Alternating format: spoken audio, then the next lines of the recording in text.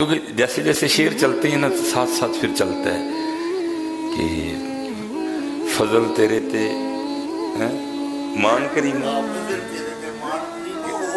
और और और ना कोई। और याद रखना दरे जी, बात बनती भी तब है जब बंदा यहाँ पहुँचता है दरे जी। ये जो मान होते हैं ना सज्जे खबे की, जितनी देर ये ख़त्म नहीं ना होती, उतनी देर बात भी नहीं बनती है।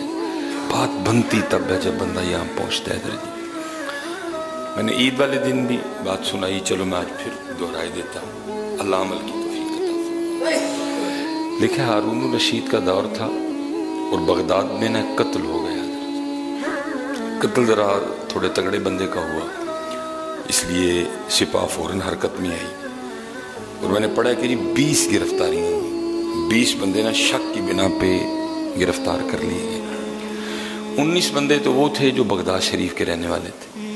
और एक उनमें ना मुसाफिर भी पकड़ा गया था। टोटल बीस बंदे पकड़ के कैद में डाल दिए। अब जो वो उन्नीस थे ना, जो बगदाद शरीफ के रहने वाले थे, सबका कोई ना कोई सिफारशी, सबका कोई ना कोई हिमायती, सबका कोई ना कोई जामिन आ गया और वो उन्नीस बंदों को छुड़वा के ले गया कि भाई, अगर इन पे कत्ल साबित हुआ तो मैं जिम्मेदार हूँ। मैं इसको लेके आऊँ आप मेरी जमानत पे छोड़ दें। आप मेरी सिफारिश पे छोड़ दें। उन्नीस तो गए।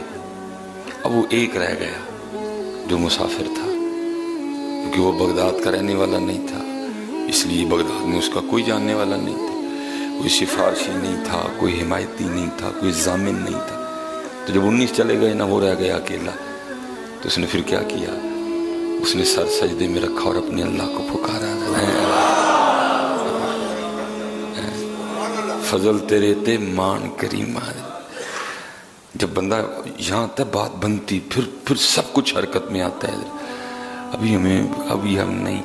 मैं उथे ओदी जेब ते भी आसरा रखे है। मैंने उधर भी रखा हुआ इसलिए जिस दिन हज़रत जी, मैंने हकीम साहब रहमत को देखा, मसलन को बंदा आ गया ना, इधर जी वो फलाने बंदे नाल काम है ते आप जरा उन्होंने कहो हाँ। हाय हाय। फजल तेरे ते मान करीम। आपने फरमाना, भाई जी, फिर बंदे नहीं आखना ओनू आखने जिदे अख्तियार चौदह दिल है वही लगाई थी ना लोगों ने। उन्होंने लगाई थी वहाँ उन्होंने इन्हें जाना, इन्हें माना। उन्होंने लगाई थी उन्होंने। मैंने देखा था आप नहीं बहुत कम था कि अब आप कभी किसी को कहते थे। अब यही फरमाया करते थे, भाई जी, उन्होंने आखने जिदे अख्तियार चौदह दिल है।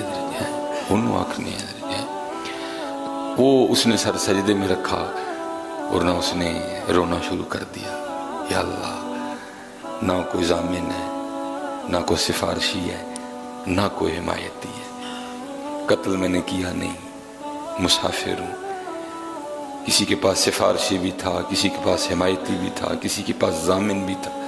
मेरा तो जो कुछ है तू ही है। मेरा हिमायती भी तू है, मेरा सिफारशी भी तू है, मेरा जमान, मेरा जामिन भी तू है। अपने बंदे पे कर्म कर आया देखो फिर हज़रत जी, होता क्या है? तवक्ल अल्लाह अल्लाह फरमाते हैं, और जो अल्लाह पे तवक्ल करेगा, फिर अल्लाह उसके लिए काफ़ी है लिखा है, हारून रशीद अपने पलंग पे ना खाब खरगोश के मज़े ले रहा था। उसको झंझोड़ा गया, और गैब से आवाज़ क्या आती है, हारून तो सोया पड़ा है। हमारा एक बंदा बेगुनाह कैद खाने में डाल दिया गया है। जा जा के उसकी, उसको रिहा करवा। हारून उठा और भागा। देखता क्या है कि बंदा है, सर सजदे में रख के रो रहा है। या अल्लाह हिमायती भी कोई नहीं, या अल्लाह सिफारशी भी कोई नहीं, या अल्लाह मेरा जामिन भी कोई नहीं। मेरा हिमायती भी तू, मेरा सिफारशी भी तू, मेरा जामिन भी तू। है हारून ने जनाब दरवाज़ा खिलवाया, उसको सीने से लगाया। उसको जाने नहीं दिया, कहा, आज तू रात मेरे पास रुक। और लिखा है, सुबह हारून ने ऐलान करवाया बगदाद में। आपने फरमाया, जिस जिस बंदे ने उस बंदे को देखना हो जिसका जामिन अल्लाह है तो वो आके देख सकता है जिसने किसी ऐसे शख्स को देखना हो ना कि जिसकी जमानत अल्लाह ने दी है तो उस शख्स को आके देख सकता है। लेकिन बस उतर ही उथे उथे उथे उथे फिर फैसला कर दिया, जो तेरे दर से यार फिरते हैं।